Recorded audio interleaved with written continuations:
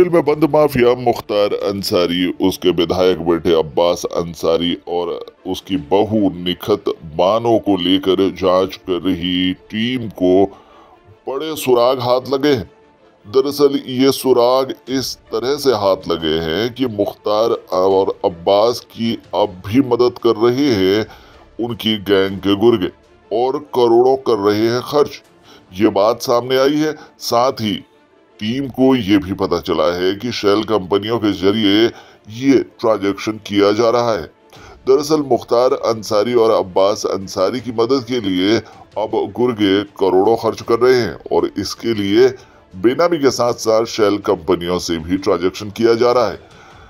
इस मामले में अब एस आई टी ईडी और इनकम टैक्स के अधिकारियों से मदद ली जा रही है, जिससे ये मामला और ज़्यादा साफ़ होता हुआ दिख रहा है। दरअसल चित्रकूट की जेल में बंद माफिया मुख्तार अंसारी, उसकी बहू निखत बानो और पुत्र अब्बास अंसारी की मदद के लिए इनके गुर्गे करोड़ों रुपए प्रदेश के कई जिलों में खर्च कर रहे हैं। ये रुपया हवाला अथवा मनी लॉन्ड्रिंग के ज़रिए आने की संभावना है। इसके लिए जाँच एजेंसियों ने ईडी और इनकम टैक्स के अधिकारियों से अब मदद ले ली है।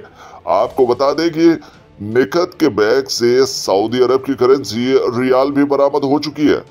जेल प्रकरण में विधायक अब्बास अंसारी और उसकी पत्नी निखत बानो के मददगारों को नकदी से लेकर महँगे गिफ्ट दिलाने के लिए ऑनलाइन रुपये उपलब्ध कराने वाले वाराणसी के शाहबाज आलम से कुछ और राज सामने आए हैं। आपको बता दें कि शाहबाज आलम को अभी कुछ ही समय पहले मुख्तार अंसारी, अब्बास अंसारी और निखत बानो की मदद करने के लिए गिरफ़्तार किया गया था।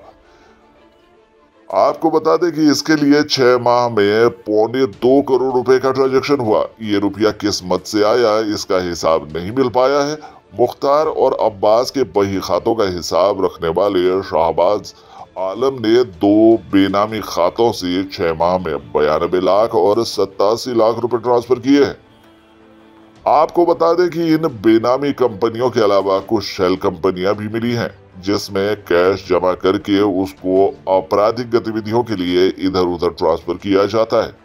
ये रुपये मुकदमे और अन्य सुविधाओं को पहुँचाने वालों को दिए जाते हैं। मामले में अब एस आई टी और इनकम टैक्स के अधिकारियों से मदद ली जा रही है। आपको बता दें कि डीआईजी विपिन कुमार मिश्रा ने मीडिया को बताया है कि जेल प्रकरण में अब तक पकड़े गए मददगारों के अलावा नकदी और महँगे गिफ्ट का लालच देने वाले रैकेट हो सकते हैं।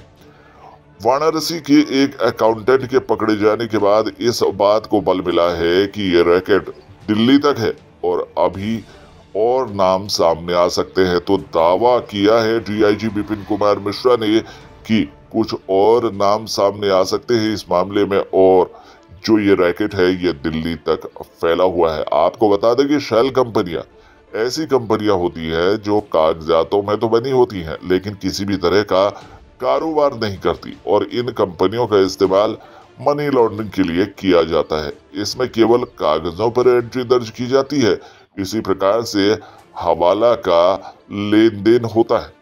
तो यहाँ पर जो बड़ी सूचना है, जाँच टीम को वो पता चली है कि किस तरह से हवाला और मनी लॉन्ड्रिंग के केस में फंसे माफिया मुख्तार अंसारी के बेटे अब्बास अंसारी का पूरा गैंग जो है वो हेर फेर करता है, क्योंकि कुछ ही समय पहले निखत बानो और अब्बास अंसारी जेल में इसी तरह का काम करते हुए पकड़े गए और रंगे हाथों उन्हें पकड़ने के बाद कई खुलासे जो हैं वो सामने होते हुए नज़र आ रहे हैं। फ़िलहाल के लिए इस खबर में इतना ही। बाकी खबरों के लिए बने रहिए हमारे साथ।